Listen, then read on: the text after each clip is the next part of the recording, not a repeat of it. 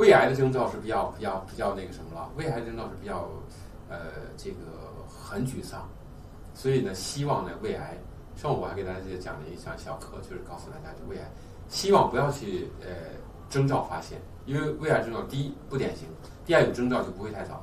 所以为什么你看我们国家现在胃癌五年存活率是百分之二三十，呃日本是百分之八十以上，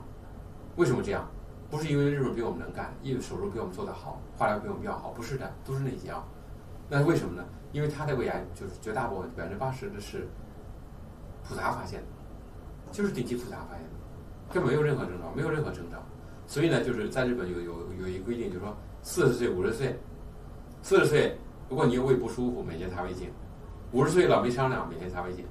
只有通过普查的时候发现的胃癌。你看，其实我们国家是应该查的，因为我们国家每年四五十万例的这胃癌，是吧？这些人如果要是做胃镜做的多了，就那就消除了，那些人都可以不死啊，